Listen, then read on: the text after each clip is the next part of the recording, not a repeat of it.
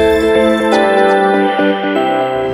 उज्जैन शहर माँ महाकाल की पूजा, अर्चना और दर्शन करने की लालसा लेकर आते हैं। बड़ी संख्या में भक्त और श्रद्धालु दूर दूर से सैकड़ों किलोमीटर से सफ़र तय करके आते हैं और उज्जैन शहर में और माँ महाकाल के मंदिर के करीब जब पहुँचते हैं तो बिगड़ी हुई व्यवस्था को देखकर भक्त और श्रद्धालु बेहद नाराज़ होते हैं। और राज्य सरकार को स्थानीय प्रशासन को कोसते हुए नाराज़गी ज़ाहिर करते हुए और राज्य सरकार सहित मध्य प्रदेश के मुख्यमंत्री शिवराज सिंह चौहान और जनप्रतिनिधि सहित प्रशासनिक अधिकारियों पर नाराज़गी ज़ाहिर करते हुए भक्तों और श्रद्धालुओं को जाते हुए देखा जा सकता है। कई भक्तों तो मंदिर के बाहर खड़े होकर यह कहते हुए नज़र आते हैं कि वह महाकाल के दर्शन करने के लिए जल्दी व्यवस्था के नाम पर यह व्यवस्था बनाई गई है, जहाँ पर दो सौ की रसीद लो, शीघ्र दर्शन का लाभ लो। यह व्यवस्था कुल मिलाकर गलत है। भक्तों से पैसे लेना और व्यवस्था के नाम पर फिर वह महाकाल के दर्शन कराना, यह निर्णय यह फैसला गलत है और यह प्रथा बंद होनी चाहिए। पैसे लेकर रसीद कटवा कर शीघ्र दर्शन करवाने वाली वॉइस ऑफ़ राइट्स के लिए उज्जैन से वीरेंद्र शर्मा की रिपोर्ट।